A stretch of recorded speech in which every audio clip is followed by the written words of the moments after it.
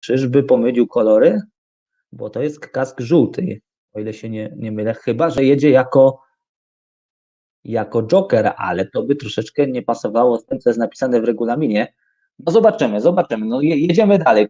Tak czy siak. Jorgensen i to on znakomicie dobrze też z czwartego pola wystartował w kasku żółtym Nikolaj Klip. Oj, oj, oj, ależ mamy teraz niebezpieczny upadek.